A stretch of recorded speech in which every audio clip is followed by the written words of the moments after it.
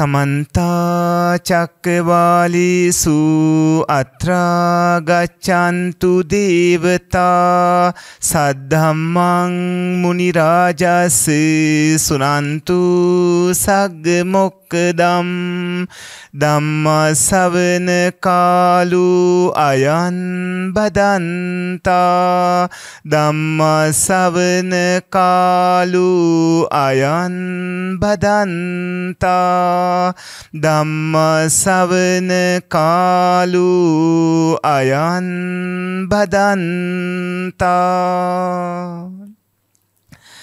නමුතස් භගවතු අරහතු සම්මා සම්බුද්දස්ස නමුතස් භගවතු අරහතු සම්මා සම්බුද්දස්ස නමුතස් භගවතු අරහතු සම්මා සම්බුද්දස්ස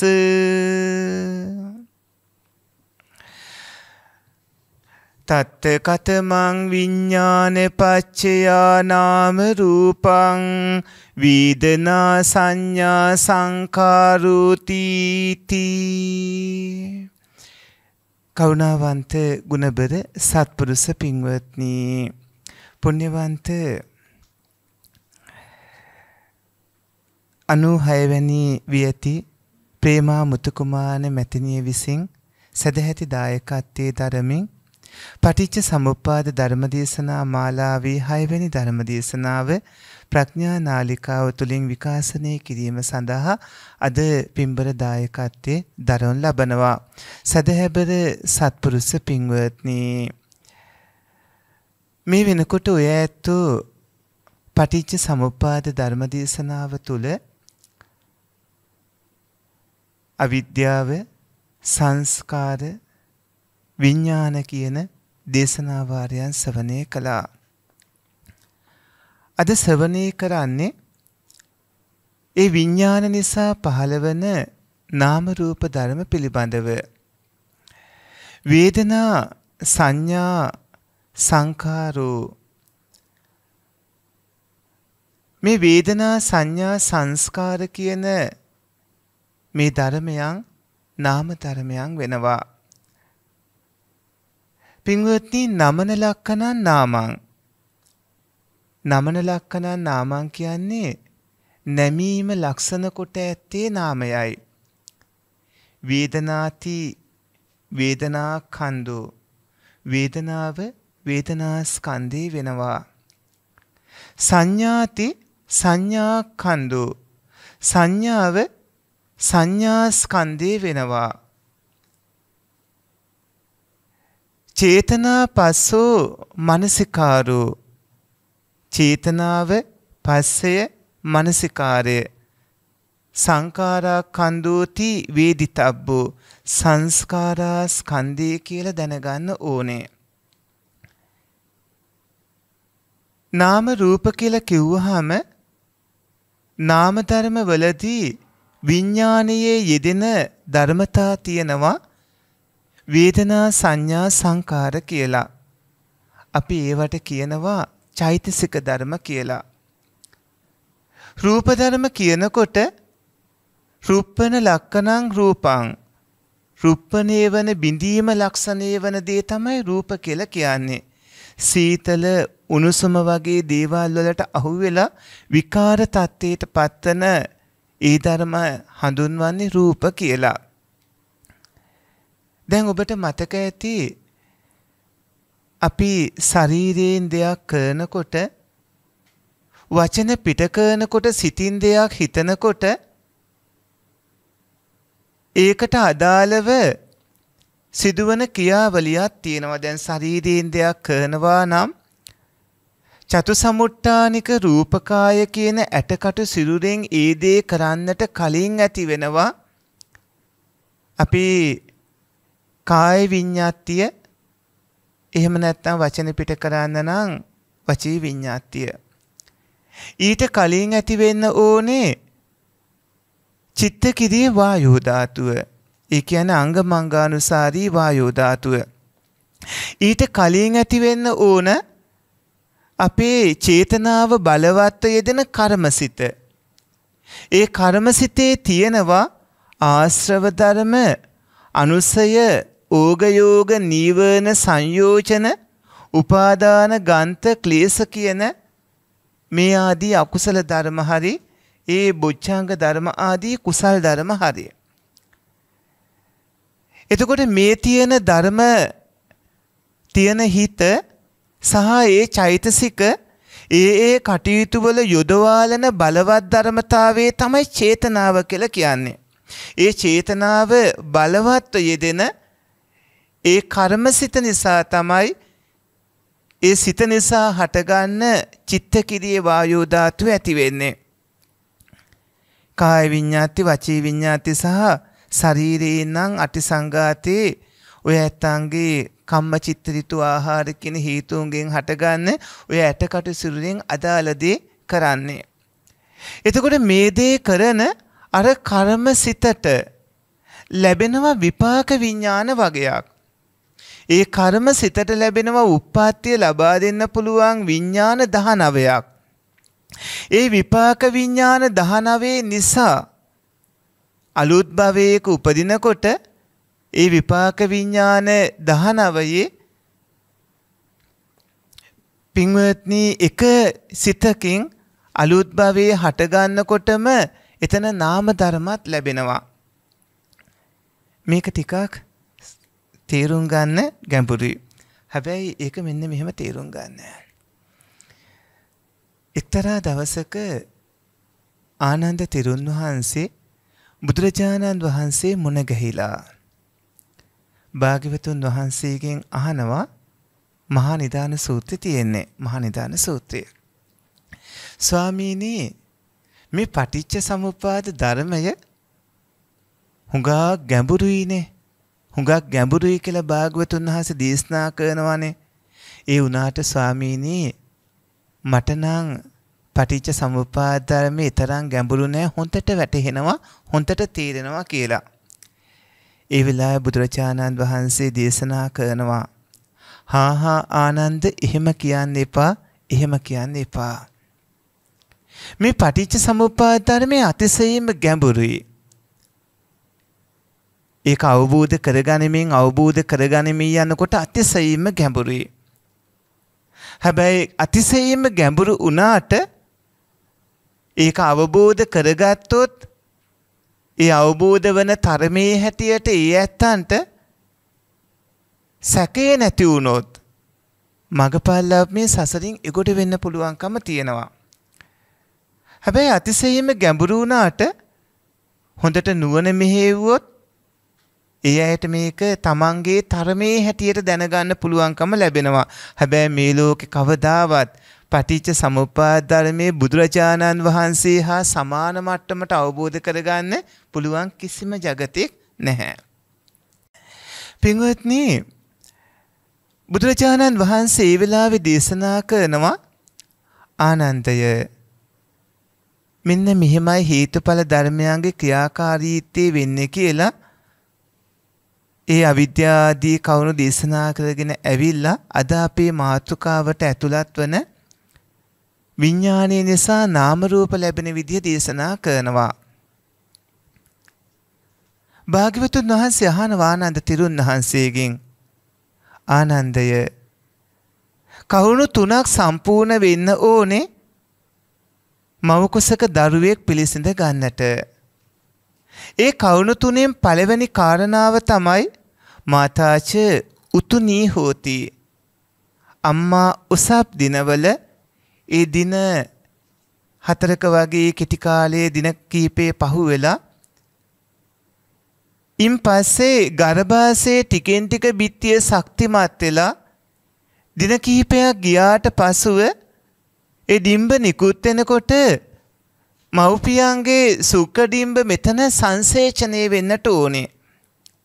ඩිම්බ සහ පියාගේ සුක්ක සංසේචනය වෙනකොට ඒ සුක්ක ඩිම්බ සංසේචනයේට ප්‍රතිසන්දි විඥානයේ බැස ගන්නට ඕනේ.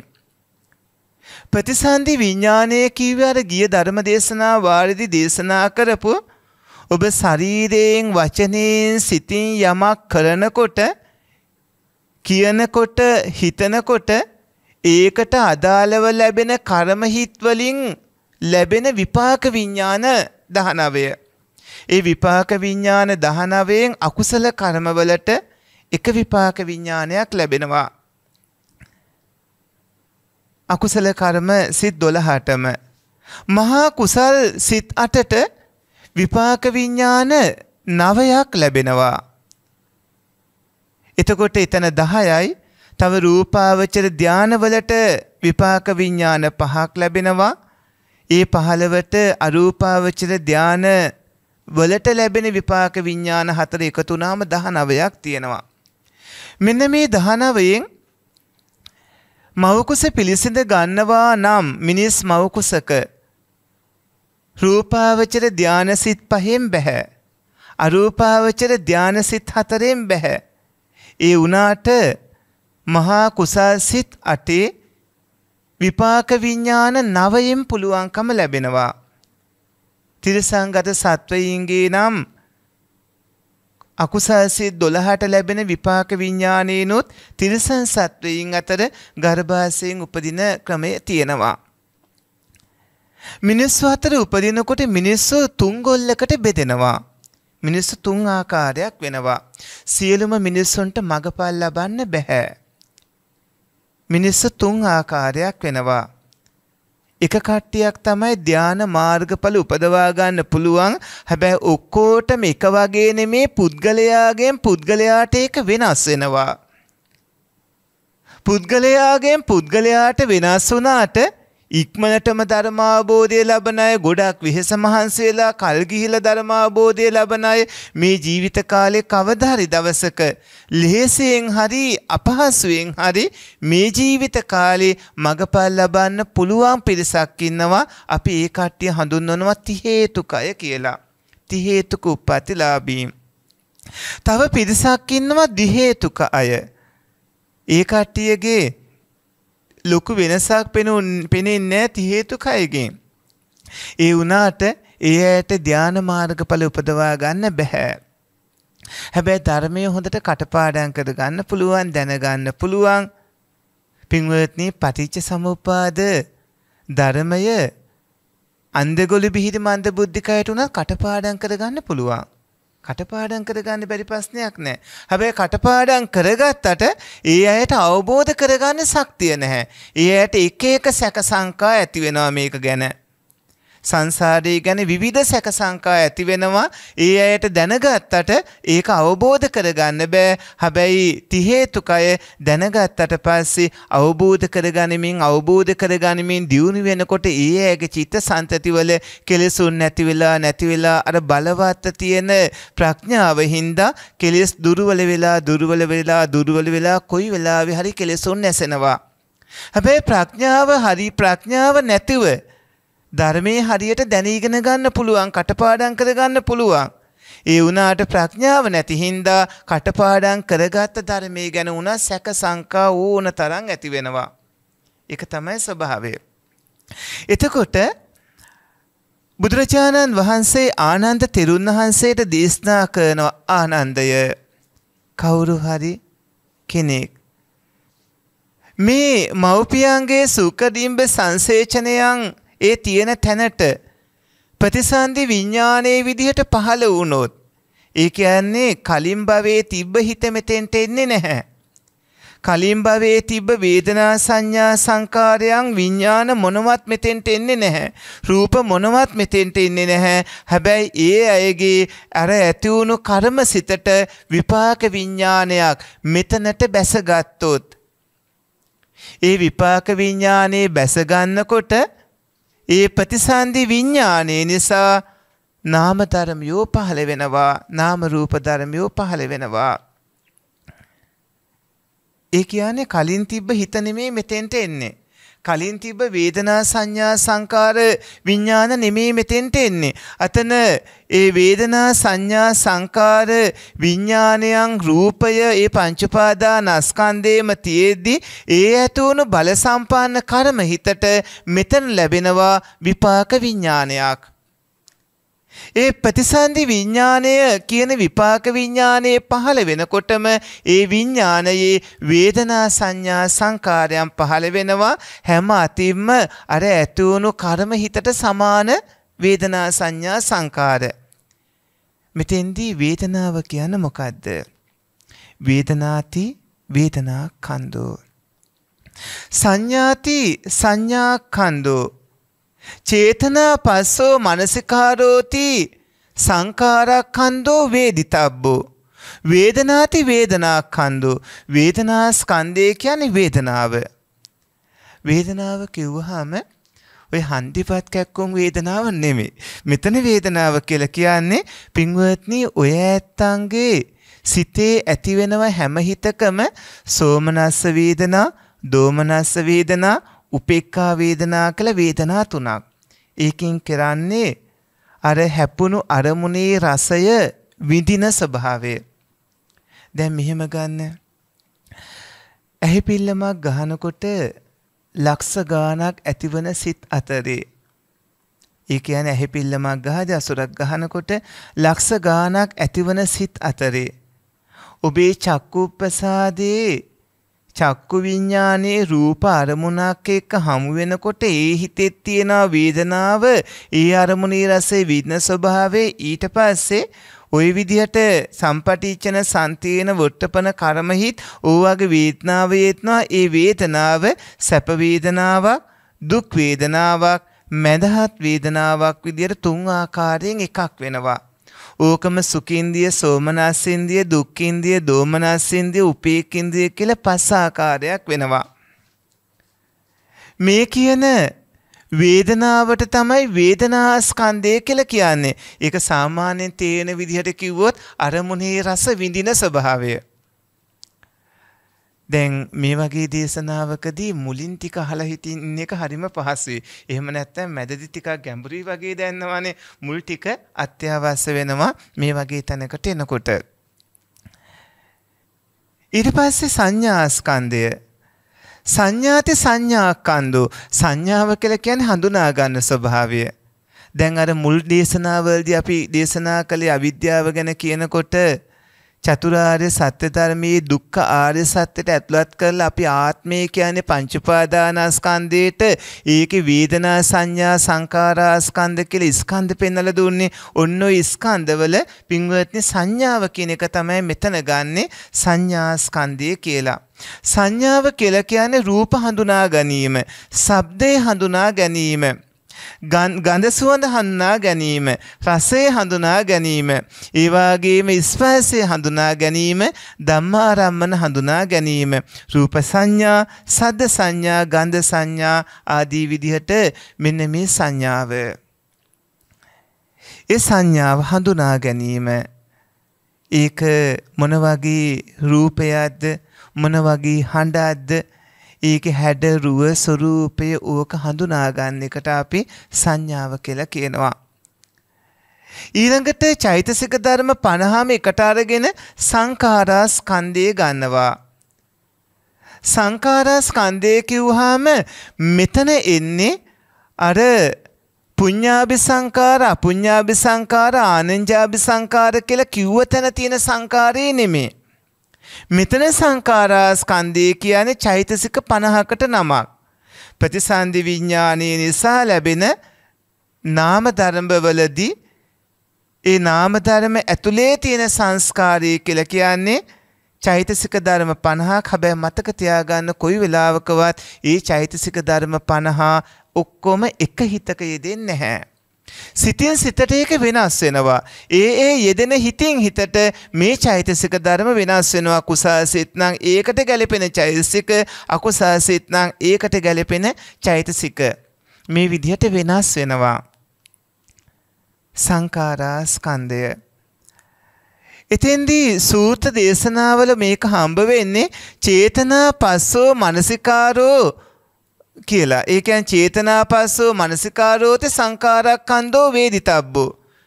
චේතනාව පස්සේ මනසිකාරය. පස්සේ කියන්නේ හැපෙන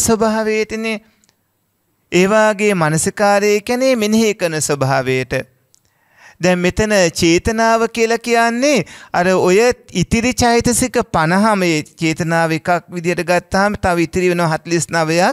ඒ 49ෙන්ම කෙරෙන එක එක ක්‍රියාවන් තියෙනවා. ඒ එක එක ක්‍රියාවන් වල යොදවන එක තමයි චේතනාවෙන් කරන්නේ. ඒක නිසා අපි සූත්‍ර දේශනාවලදී චේතනා පස්සෝ මනසිකාරෝ කියලා තියෙනකොට එතන තුනයිනේ තියෙන තව චෛතසික නෑනේ කියලා අයින් කරන්න බෑ. ඔක්කොම 50 මොතන කියන්න බෑනේ. ඒ ඔක්කොට මුල් වෙන ප්‍රධාන චේතනාව කිව්වනම් අනිත් ටික තේරුම් ගන්න පුළුවන්.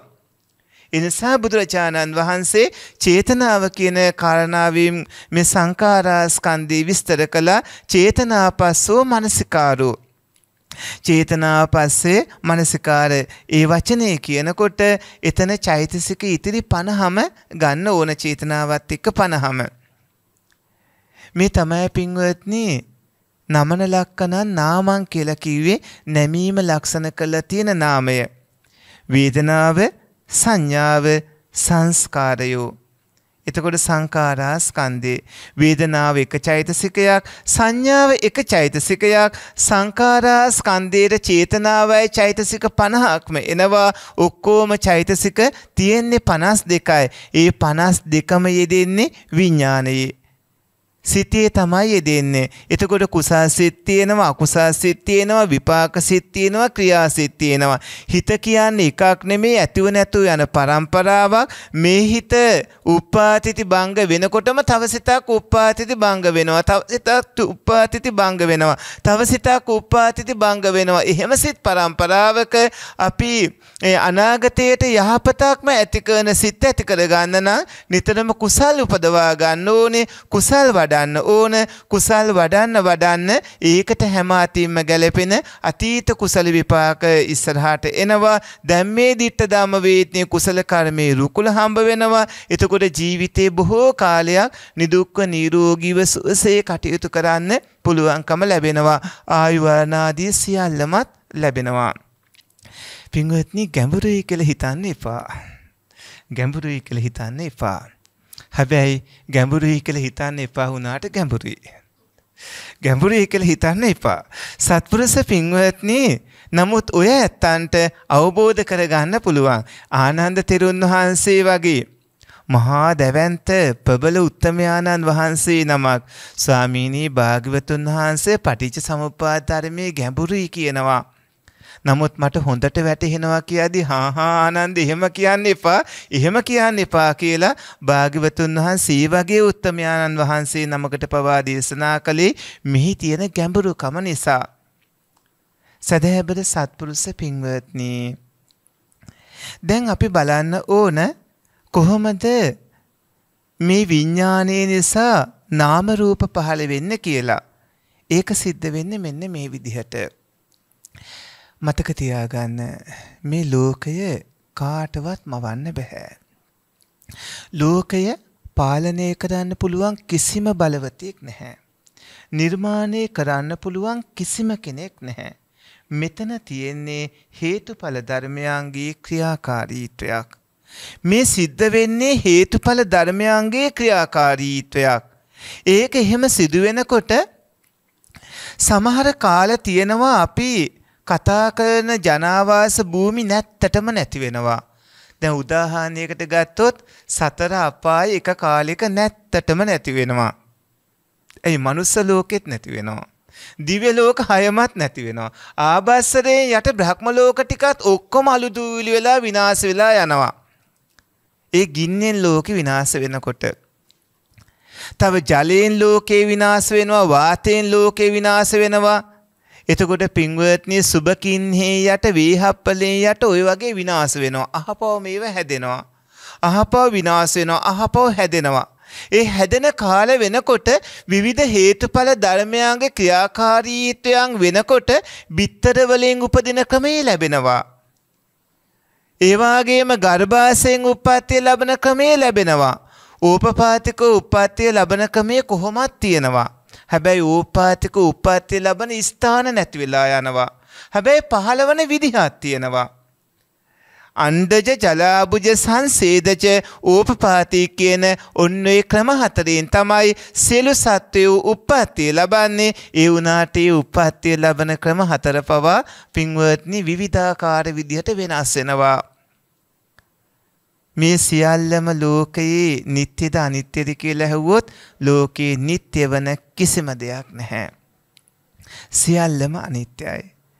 ඒ සියල්ලම අනිත්‍ය වෙනකොට රූපේට තියෙන්නේ චිත්තක්ෂණ 17ක ආයු කාලයක් නාම ධර්මවල තියෙන්නේ එක චිත්තක්ෂණයක ආයු කාලයක්. ඒ ඒ එක චිත්තක්ෂණේ උපාදතිති භංග කියලා අවස්ථා තුනක් තියෙනවා. අර චිත්තක්ෂණ 17ත් උපාදිති භංග කියලා අවස්ථා තුනක් තියෙනවා. එතකොට ඒක 51ක් වෙනවා.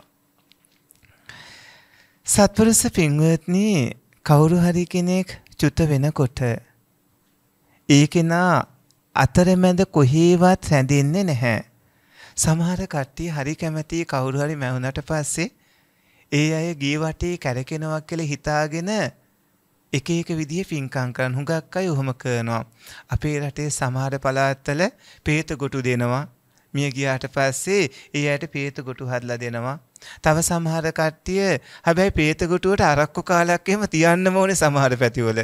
දැන් සමහර ගෙවල් වල කට්ටිය ඉන්නවනේ පොඩි තරුණ ළමයි එහෙම තරුණ ළමයි ඔය අරක්කු පොඩි මේ වීදුරුවක් වගේ තියන්න දැද්දි ඕක හරියන්නේ අරුමතරෙන් බෝතලයක් හරි තියන්න ඕනේ කියලා ප්‍රමාණය වැඩි කරන හැබැයි ප්‍රේත ගොටුව තියලා බණ ඉවර කරනකොට අර කතුරු දහන් වෙලා බලනකොට ප්‍රේතයා බීලා නෙමෙයි මේ විදිහට පින්වත්නි එක එක පළාත්වල එක එක මතවාද තිබ්බට චුතියත් එක්කම ප්‍රතිසන්දිය ලබනවා.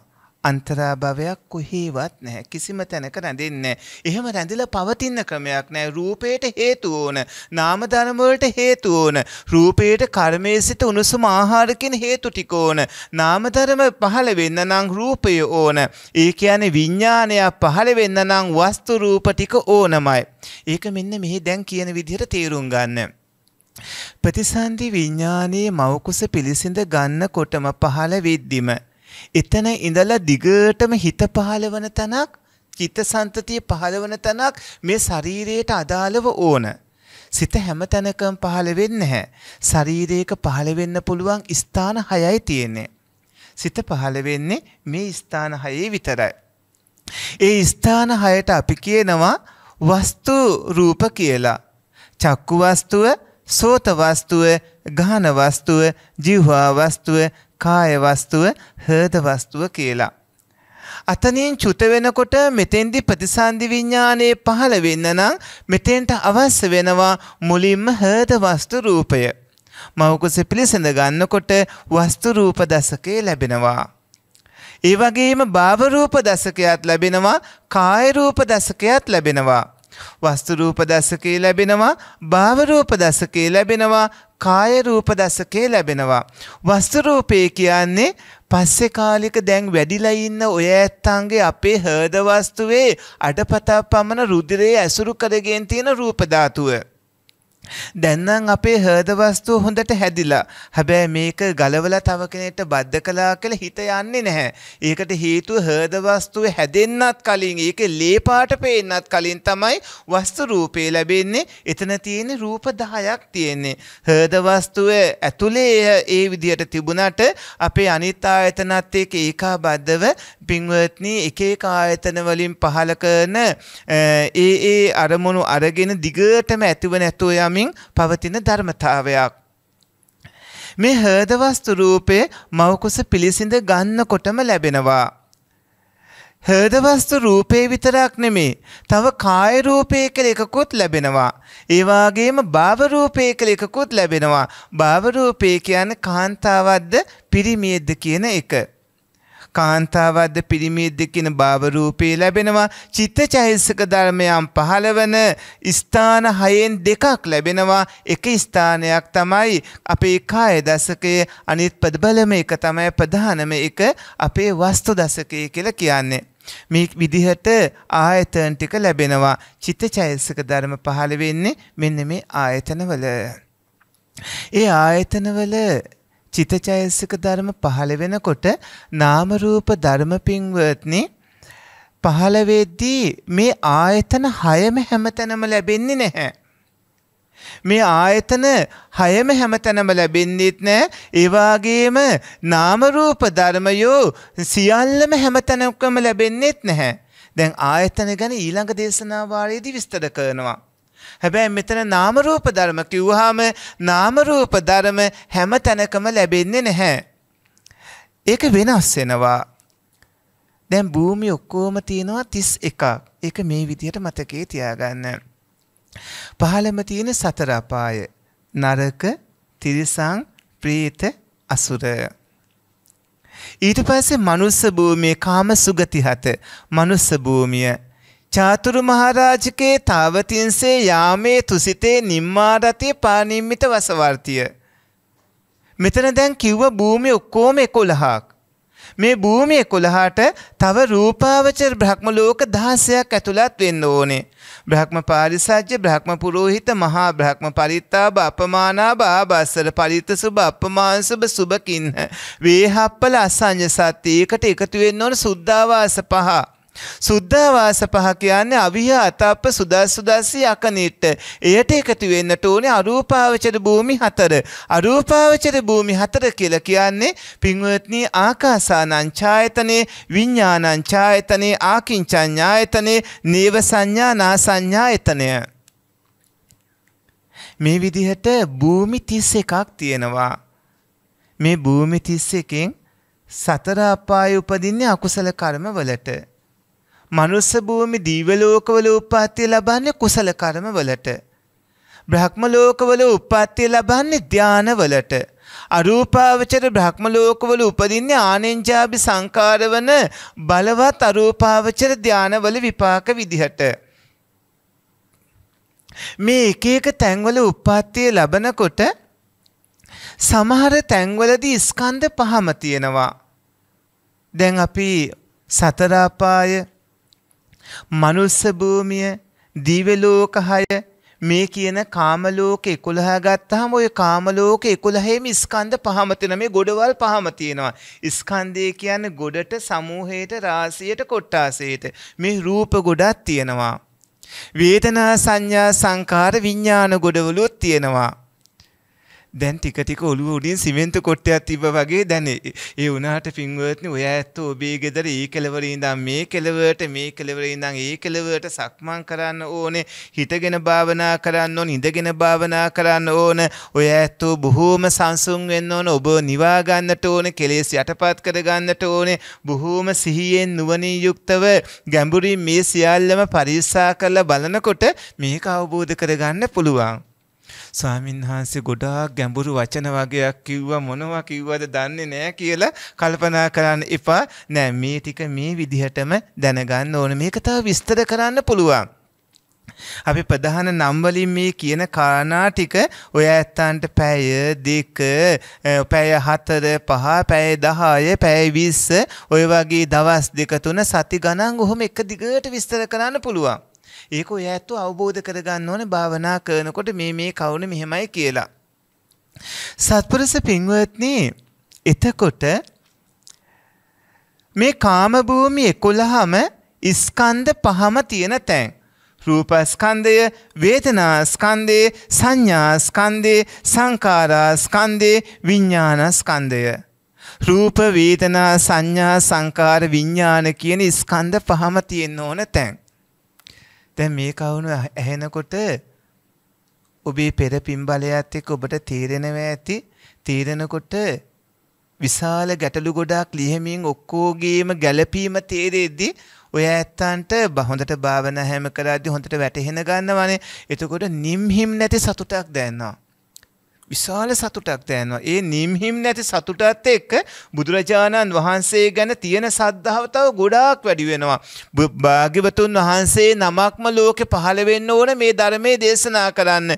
මේ තරම් මේ සියලුම ලෝක විශ්වීය ස්වභාවයේ අතැඹුලක් වගේ නෙල්ලි ගෙඩියක් අල්ලේ තියාගත්තාම අපි ඒකට අතැඹුල කියන්නේ නෙල්ලි ගෙඩියක් අල්ලේ තියාගෙන කරකව කරකව බලනවා වගේ මුළු සක්වල ලෝක ධාතු සියල්ලම පරික්ෂා කරලා බලලා කිසිම අඩුවක් නැතුව භාග්‍යවතුන් වහන්සේ සියල්ලම දේශනා කරලා තියෙනවා. ඒ භාග්‍යවතුන් වහන්සේ ස්කන්ධ පහම තියෙන තැන් අරගෙන ඔය කිව්ව මනුස්ස ලෝකය සතර අපාය දිව්‍ය ලෝකය ওই තැන්වල ස්කන්ධ පහම තියෙනවා බ්‍රහ්ම ලෝක ගත්තාම බ්‍රහ්ම ලෝකවල ස්කන්ධ මේ පහම තියෙනවා අසඤ්ඤ සත්‍යයයි අරූපාවචර බ්‍රහ්ම ලෝකයි ඇරෙන්න. ස්කන්ධ පහම තියෙනවා භූමි 31 භූමි පහක් ඇරෙන්න අනිත් තැන්වල. රූප වේදනා සංඥා සංකාර විඥාන කියන පහම තියෙනවා. ඒ වුණාට අසඤ්ඤ සත්‍යයේ තියෙන එක ස්කන්ධයයි. අසඤ්ඤ සත්‍යය කියන්නේ මේ විමුක්තිය කියන්නේ හිත නැති කිරීම කියලා හිතලා ධාන උපදවා ගත්ත කට්ටිය මෙසේ මෙසේ අය නෙමෙයි හොඳ බල සම්පන්න චරිත. මහා ප්‍රබල චරිත, දැවැන්ත චරිත, පංචම ධානලාභී. ඒ වගේ දැවැන්ත චරිත තියෙන අයටත් හිතෙනවා වැරදි දෘෂ්ටියක් ඒ අයට ඇති වෙනවා මේක නිවන කියලා. හිත නැති කිරීම නිවන කියලා. චිත්ත ධාතු පරම්පරාවේ පැවැත්ම නතර කරගෙන ඉන්න එක නිවන කියලා හිතාගෙන වැරදි දෘෂ්ටියක් ගත්තට පස්සේ ඒ කට්ටියගේ ඊළඟට කල්ප 500ක වගේ මහා කල්ප 500ක වගේ කාලයක් තියෙන්නේ රූප නවකයක් විදිහට විතරයි. පඨවි ආපෝ තේජෝ වායෝ ඒ වගේම වන්න ගන්ධ රස ඌජා ජීවිතින්දිය රූපේ කියන රූප නවකේ විතරයි තියෙන අසඤ්ඤ සත්‍යය. ඒ අයට රූප නවකයක් තියෙනවා එක ස්කන්ධයයි ස්කන්ධ පහෙන් එකක් බවට පත් වෙනවා. හැබැයි එහෙම තියෙන මහා කල්ප 500යි උපරිම වහපව ස්කන්ධ පහම බවට පත් වෙනවා. දැන් අරූපාවචර බ්‍රහ්ම ලෝක ගත්තාම ඒ தත්ත්වය වෙනස්. අරූපාවචර බ්‍රහ්ම ලෝකවල බ්‍රහ්මයෝ හිතන්නේ සිත නැති කිරීම නෙමෙයි රූපේ නැති කිරීම නිවන කියලා. ඒ අය මේ ශරීරයේ හින්දා ඔක්කොම ප්‍රශ්න කියලා හිතලා ශරීරේ නැති කරන්න භාවනා කරනවා. එහෙම භාවනා කරනකොට ලේසියෙන් හොලවන්න බැරි ආකාසා නංචායතනේ විඤ්ඤාණංචායතනේ ආකින්චඤ්ඤායතනේ නේව සංඥා නාසඤ්ඤා එතනේ වගේ මහා දැවැන්ත තත්ත්වයට තමන්ව දියුණු කරගන්නවා. ආකාසානංචායතනයේදී මහා කල්ප 20000ක ආයු කාලයක් තියෙනවා. විඥානංචායතනේ 40000ක් ආකින්චඤ්ඤායතනේ 60000ක් නේව සංඥා නාසඤ්ඤායතනේ මහා කල්ප 84000ක ආයු කාලයක් තියෙනවා. එච්චර දීර්ඝ කාලයක් ඒ කට්ටිය රූපේ නැතුව සිත පමණක් ඇතුව උප්පත්තිය ලබනවා. මෙන්න මේ විදිහට මේ කාරණා තේරුම් ගන්න ඕනේ. සදහැබර සත්පුරුෂ පින්වත්නි සංසාර ගමන අතිශයින්ම භයානකයි. සසරින් ඉගොඩවන ගමනේදී පටිච්ච සමුප්පාද ධර්මය අවබෝධ කරගන්න ඕනමයි. ඔය ඇත්තෝ ඔබව නිවා ගන්න ඕන ඔබව සංසුන් කරගන්න ඕන. දැන් ඔබ පරිේශකයෙක් එසේ මෙසේ පරිේශකයෙක් නෙමෙයි ආර්ය පරිේශකයෙක් ඔය ඇත්තන්ට නමක් තියෙනවා ආර්ය පරිේශකයා. ආර්ය පරිේශකයා බොහෝම සංසුන්ව හිත දමනය කරගන්න ඕනේ. අමාරුකම් ගොඩක් තියෙනවා. ඇයි වෙනද රූපවලට ආසා කරනවා, ශබ්දවලට ආසා කරනවා. ඒ අරමුණු එන්න දෙන්නේ නැතුව හිත එකඟ කරගන්න පටන් ගන්නවා. කොච්චර අමාරු වුණත් ඒ අමාරු වුණු කෙලෙස් ටික යටපත් කළා දාලා ඔය ඇත්ත හරිම ලේසි පහරක් තෝරගන්නවා. හොඳට පුරුදු වෙනවා හොඳට පුහුණු වෙනවා ආරෂ්ඨායික මාර්ගයේම අනුගමනය කරනවා එහෙම කටයුතු කරනකොට එක තැනක් තියෙනවා මේ ටික අවබෝධ කරගන්න ඕන තැනක් අපි ඒකට නමක් කියනවා කාංකා විතරන විසුද්ධිය කියලා. පටිච්ච සමුප්පාද ධර්මය අවබෝධ කරගන්න ඕනේ. හුඟක් කට්ටියකින් අහනකොට අම්මේ භාවනා කරන්නේ නැද්ද කියලා අපිට දෙන උත්තරේ තමයි කෝ ඒකට කාලේ අපේ හාමුදුරුවනේ තාම දරුවෝ ලොකු වෙලා නෑනේ කියලා. ඕක හිතේ තියාගෙන දැන් අවුරුදු 10ක් 15ක් ගියාට පස්සේ දැන් අපි දරුවෝ උසස් පෙළත් කළ විශ්වවිද්‍යාලයේදී කියලා දැන් රස්සාත් කරනවානේ. දැන් භාවනා කරන්නේ නැද්ද කියලා අහනකොට කොයි හාමුදුරනේ දැන් දරුවන්ගේ දරුවෝ බලා ගන්න ඕනේ කියලා කියනවා. බලයි යනකොට අන්තිම වෙනකම් ඒ අයට අවස්ථාව නැහැ. හැබැයි පින්වත්නි මව්පිය දූදරු අඹසැමි ජීවිතයේ හැම කටයුත්තක්ම කරන අතරේ ඔය ඇත්තන්ට පුළුවන් මේ ධර්ම කාරණා අවබෝධ කරගන්න. ඔබ පරිේශකෙක් හරියට රසායනාගාරයකට යන විද්‍යාඥයෙක් වගේ ගහක් මුලට එහෙම නැත්නම් ඔබේ මේ ගෙදර බුදුමැදුර ළඟට ඔබේ නිදන කාමරේ ඔබට පාඩුවේ නිස්කලංකව මේ රහසිගතව කරන භාවනා ක්‍රමයේ කරන්න පුළුවන් විදිහට නිස්කලංකව ඔබේ ගෙදර තියෙන තැනකට ගිහිල්ලා ඒ වගේ නිස්කලංක තැනක ඉඳලා ඔබ භාවනා කරන්න ඕන. පියවරෙන් පියවර ටිකෙන් ටික මේ ගැඹුරු තැනට එන්න ඕනේ. පටිච්ච සමුප්පාද ධර්මයේ ගහම්බීරයි. හැබැයි ඔබ ඒක අවබෝධ කරගන්න ඕනේ. සංසාර චක්‍රයේ ස්වභාවය ඔබ සිදුවන විදිය තේරුම් ගන්නට ඕනේ. මේක නිසයි මේක වෙන්නේ අවිද්‍යාව නිසා සංස්කාර හට ගන්නවා. සංස්කාර නිසා විඥාන හට ගන්නවා. විඥාන නිසා නාම රූප හට ගන්නවා. නාම රූප ලැබෙන්න නම් ප්‍රතිසන්දි විඥාන 19ක් තියෙනවා. ප්‍රතිසන්දි විඥාන 19න් එකකින් සතර අපාය උප්පත්ති ලබා දෙනවා. නවයකින් මනුස්ස ලෝකේ විනිපාතික තැන්වල උප්පත්ති ලබා දෙනවා. ඒ වගේම අටකින් මනුස්ස ලෝකේ දිව ලෝකවල උප්පත්ති ලබා දෙනවා. ඒ වගේම බ්‍රහ්ම ලෝකවල රූපාවචර බ්‍රහ්ම ලෝකවල පහකින් මේ එකකින් උප්පත්ති ලබා දෙනවා. අරූපාවචර බ්‍රහ්ම ලෝකවල හතරෙන් එකකින් උප්පත්ති ලබා දෙනවා. මෙන්න මෙහෙම සිද්ධ වෙන්නේ කියන එක අවබෝධ කරගන්න ඕන. මුලින්ම දැනගන්න ඕන. දැනගෙන කල්යාණ මිත්‍රොත් එක්ක සාකච්ඡා කරන්න ඕනේ. නැවත නැවත කල්පනා කරන්න ඕන. නැවත නැවත මෙනෙහි කරන්න ඕන. තේරෙන්නේ නැති දේ තේරුම් ගන්නම ඕන. සක්මන් කරන්න ඕන. හිතගෙන භාවනා කරන්න ඕන. උදේ දවල් රාත්‍රියේ සති සම්පජාන්නව ඉන්න ඕනේ. යෝනිසෝ මනසිකාරයෙන් ඉන්න ඕනේ. නැවත නැවතත් පටිච්ච සමුප්පාද ධර්මයේ තේරුම් ගන්න පරතෝගෝසී ඇතිව ධර්මය ඇහුම්කන් දෙන්නට ඕනේ. නැවත නැවතත් තේරුම් ගන්න මහන්සි ගන්න ඕන. මේ කියන pāli වචන ටිකම තමයි අපිට තියෙන දැනගන්න. ඒ වචන වෙනස් කරලා ගන්න හදන්න එපා. මේ වචන ඇතුළෙන්ම තියෙන අදහස තමයි ඔය ඇතු තීරුම් අරගෙන අවබෝධ කරගන්නට ඕන.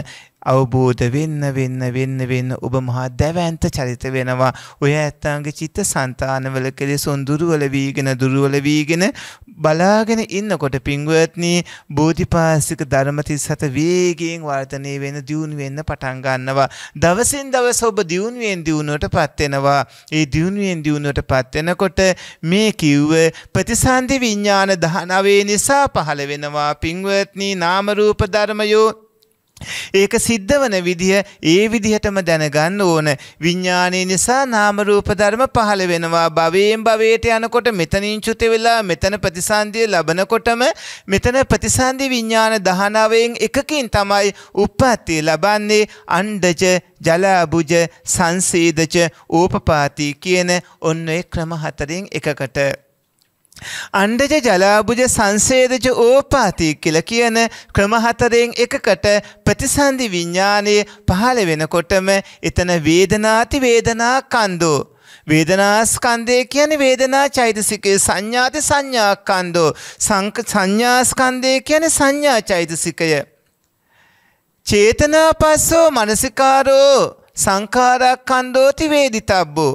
චේතනාව පස්සේ මනසිකාරේ සංකාරාස්කන්ධය කියලා දැනගන්න ඕනේ. එතන චෛතසික 50ක් තියෙනවා. එතකොට මේ චෛතසික 52ම එක එක හඳුනාගෙන ඉන්නත් ඕනේ. මේ චෛතසිකේ මේක, මේ චෛතසිකේ මේක. ඊට පස්සේ කේන්ති යනකොට කෙලෙස් ඇති වෙනකොට Tamanට ඇති වුණු අකුසල් සිත්වල එක තියෙන විදිය නුවණින් විමසලා බලන්න ඕන. ඒ වගේම යහපත් හොඳ දේවල් කරනකොට කුසල් සිත්වල එක තියෙන විදිය නුවණින් විමසා බලන්න ඕනේ. සිහියෙන් නුවණින් විමසමින් ඒ தත්ත්වයන් තේරුම් අරගන්න ඕන. මෙතන ආත්මයා සත්‍ය පුද්ගලයෙක් කියලා කෙනෙක් දෙයක් නෙමේ තියෙන්නේ. නාම රූප ධර්මමයි. හොඳයි පින්වත්නි අද දවසට નિયમિત ධර්මානුශාසනාව ඒ දේශනා කළේ. ඒ කියන්නේ අද ඔය ඇත්තෝ සවනය කළේ සත්පුරුෂ පින්වත්නි නාම රූප ධර්ම පිළිබඳව. ඔය ඇත්තු විඤ්ඥානපච්චයා නාම රූපං ඒ නාම රූප දේශනා වාරයේ 6 වන ධර්ම දේශනාව විදිහට ශ්‍රවණය කළා. මෙම උතුම් ධර්ම දේශනාව සඳහා ප්‍රඥා නාලිකාව තුළින් විකාශනය කිරීමට දායකත්වයේ දරුවේ පින්වන්ත ජන්මදිනයේ උදා වුණු අද දවසේදී ජන්මදිනය සමරන 96 වී ඇති ප්‍රේමා මුතුකුමාන පින්වන්ත මැතිණිය විසින් පින්වන්ත මෑණියන් වහන්සේගේ පින්බර ජන්මදිනයේ නිමිති කරගෙන අද ධර්ම දේශනාවේ සදැහැතිදායකත්වයේ දරන්නට යෙදුනා. මෙම උතුම් ධර්ම දේශනාව තුළින් ජනිත වන්නා වූ පුණ්‍ය ශක්තිය පරලොව සැපත් වූ එතුමියගේ ස්වාමි පුරුෂයාණන් වන සුගී මුතුකුමාරන මැතිදුන්ට දියණිය වන හිමානී මුතුකුමාරන දියණියට දෙමාපියන් සහ පරලෝ සැපත් අනිකුත් ඥාතීන්ට අනුමෝදන් වීවා. සුජීවත්ව සිටන තම දූදරුවන් මුණුපුරු මිනිපිරියන්ට නිරෝගී සුවයත් මෙම භවයේදීම උතුම් චතුරාර්ය සත්‍ය අවබෝධය පිණිසත් මෙම පුණ්‍ය ශක්තිය හේතු වාසනා වේවා. ගෞරවනීය ධර්මදේශකයාණන් වහන්සේ වන අතිපූජනීය තපෝවනේ රතන සාමින් වහන්සේට සිදු කරගෙන යන ශාසනික මෙහෙවර চিරාත් කාලයක් සිදු කිරීමට ශක්තිය ශක්තිය දහිදය හා නිදුක් නිරෝගී සුවය සැලසේවා. එමෙන්ම සියලුම සංඝයා වහන්සේලාටද නිදුක් නිරෝගී චිරජීවනය සැලසේවා. උන්වහන්සේලා පතන්නා වූ බෝධියකින් උතුම් නිවන් අවබෝධී ලබත්වායි කළ පින් අනමෝදන් කරනු ලබනවා. සත්පුරුෂ පින්වත්නී මෙතෙක් වේලා ඔබ රැස් කරගත්ත පුණ්‍ය කුසල සම්භාරයෝ සාංසාරික බව ගමන් මගේ ඔය සත්පුරුෂයිනගේ නමින් මියගිය මව්පිය පවුල් පරපුරවල්ලට සම්බන්ධ සාංසාරික ඥාතීනට දූත පුරා අනුමෝදන් විත්වා. ඒ ඥාතීනගේ තමන්ගේ පහළව ජීවිතය. සැපවත් විත්වා සූපත් විත්වා සුකිත මුදිත ප්‍රඥාව දියුණු කරගෙන ඉක්මම් භවයකදීම උතුම් නිවනින් සැනසිත්වා ඉකළ ඥාතීන්ට පින් අනමෝදන් කරන්න ඉදම් මේ ඥාතී නං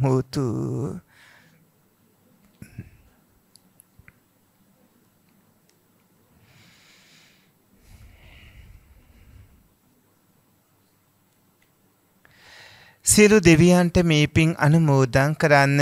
සක්‍ර වෛස්සවන දතරාෂ්ට විරූඩ විරූපාක්ෂ සුමන් සමන් ආදී කොටගත් සමස්ත දිවරා සමූහයා මේ පින් අනුමෝදන් විත්වා. පින් අනුමෝදන් වන දෙවියෝ ඔබ හැම දෙනාම රකිත්වා. සිරු දෙවියෝ පින් ලබත්වා. පින්වන්ත අද දායකත්වයේ දරන ප්‍රේමා මුතුකුමාරන මැතිනිය සහ ඒ සත්පුරුෂ දූදරු පවුල් පරපුරී හැම දෙනාම රකිත්වා දෙවියෝත් නිවනින් සැනසෙත්වා. ඉකල දෙවියන්ට පින් අනුමෝදන් කරන්න ආකා සට්ටාච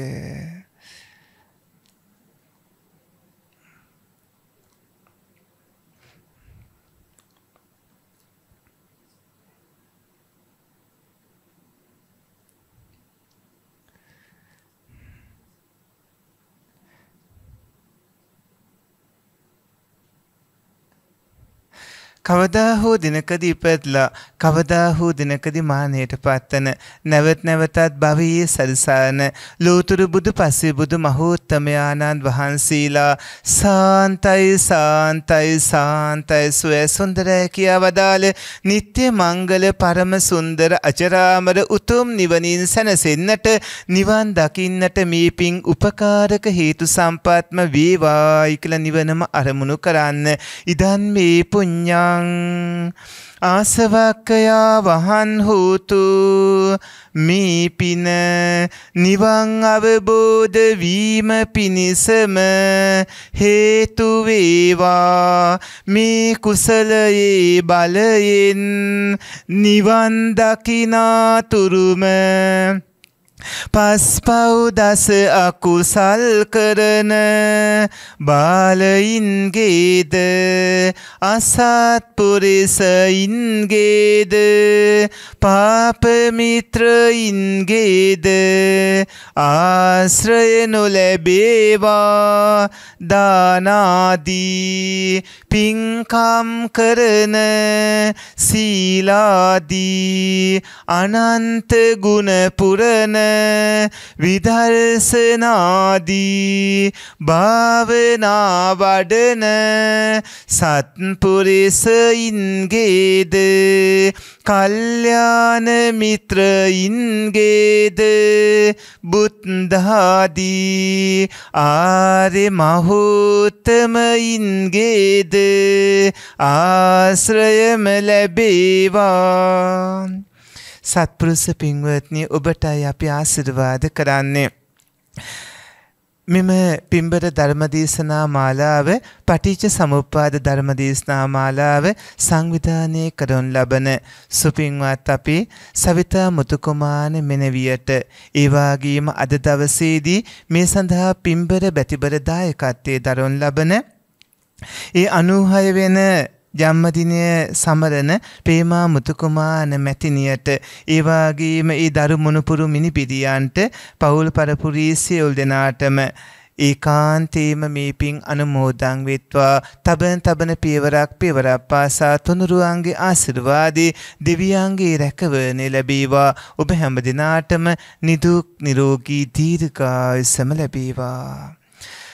අභිවාදන සීලිස නිච්ඡං වද්දාපචායිනෝ චත්තාරු ධම්මා වඩ්ඩಂತಿ ආයුවන් නූසුකම් බලං ආයුරාරෝග්‍ය සම්පatti සග්ග සම්පatti මේවචේ අතෝ නිබ්බාන සම්පatti මිනාති සමිච්ඡතු